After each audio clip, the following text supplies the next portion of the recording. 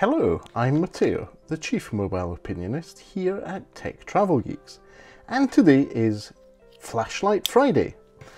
This is a feature where we unbox and review a torch or some form of flashlight for the purpose of travel. Sometimes you may not be in a place where there's reliable light sources, and this is the ideal accessory for travel. In this case, I am looking at something quite interesting. As you can see, the packaging is quite tight. There's a lot of stuff in here.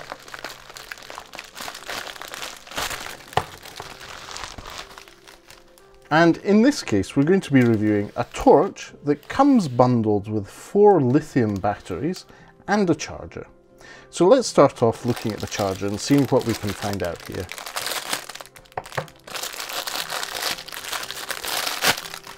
So the charger charges from USB, specifically USB type A.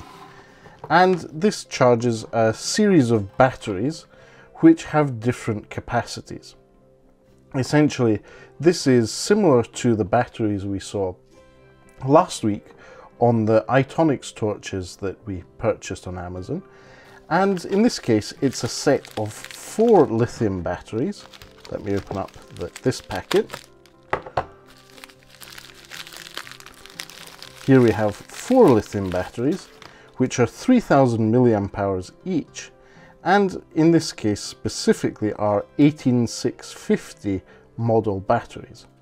So this is the equivalent of a power bank that I'm holding in my hand. They look like AA batteries, but these are significantly bigger. They will not fit in uh, a device that takes AA or, or AAA batteries. And then with these, there is also a torch. And in the case of the torch here, let me get this out. We have a metal torch uh, that takes one of these batteries. It has a clip, it have a, has a slot for charging, and an LED light with uh, a nice lens on it. So what we're going to do is look at the charger for the torch. This is USB-A to micro USB. So you can charge a battery in the torch as it is, as well as charge the remaining batteries in the charger that comes with this.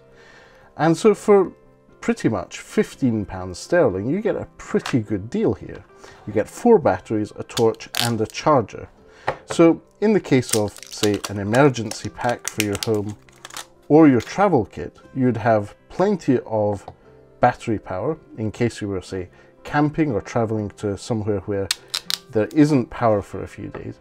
And you'd be quite safe in the knowledge that you've got plenty of battery power to get you through the trip with your torch.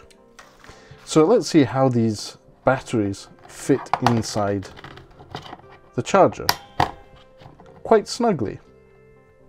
So I'm going to put three in the charger and we're going to plug the charger with its USB-A cable into our O for power strip that I regularly use for testing products.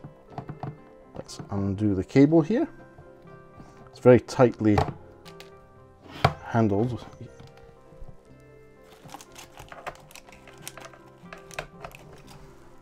There we go. And as you can see, the charger lights up. It's charging three separate batteries at the same time. But whilst we're at it, we'll take our torch, which is definitely more compact compared to the torches from iTonics we were looking at last week. And this one seems to be a vertical insert. Let's find out if I'm right.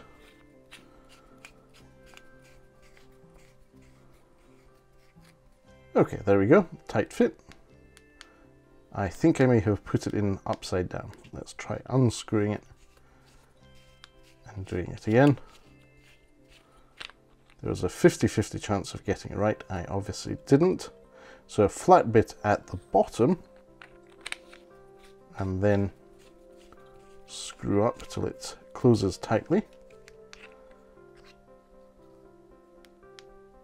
There's no power whatsoever here. Interesting. So let's try charging this as well with a micro USB cable.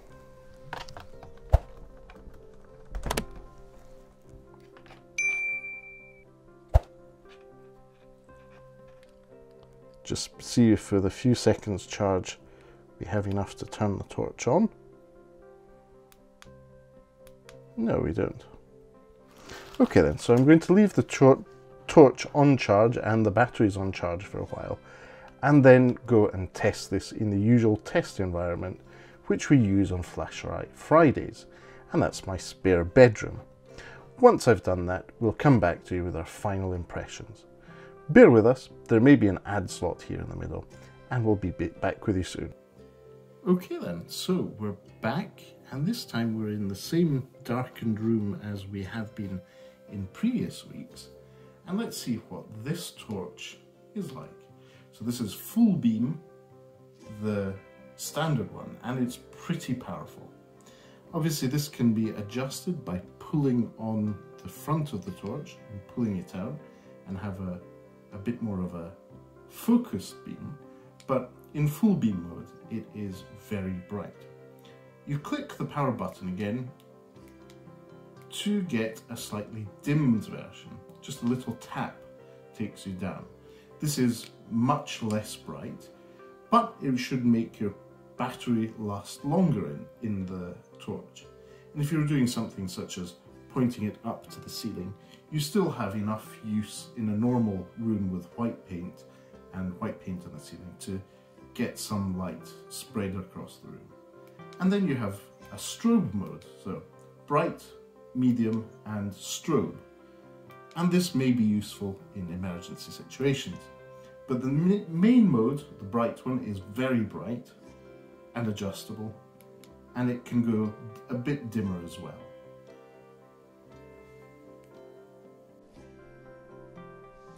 Okay then, so I'm back. As you can see, after a quick charge with a USB cable, the torch was properly charged and was working, and we put it through its usual test in our spare bedroom.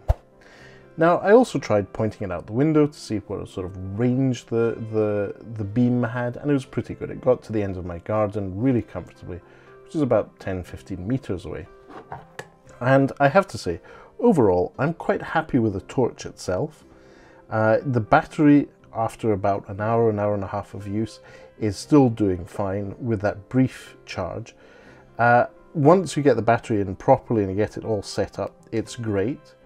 It's very, very bright. So for things like when you're in an emergency and you maybe have a power cut, I think this is a really good lighting solution for rooms, especially if you have white paint on the ceiling. Uh, in terms of its beam adjustability, it's very good. It can go to pretty narrow focus beam to wide beam just by gently pulling in and out on that and it works great. And I do like the sort of ergonomics of this. This is a smaller, shorter torch than the iTonics one we reviewed last week with the same battery, so we can expect similar performance in terms of battery life. Now, as you can see, I'm still charging the other three batteries that came with the torch, and they seem to be uh, going on. I'm assuming that they will switch to green once they're fully charged. And these are the same batteries as the iTonics torch that we uh, reviewed last week.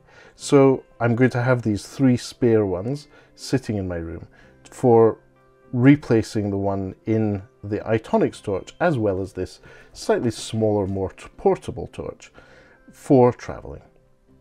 So great solution overall. For less than £20 sterling, really nothing to complain about.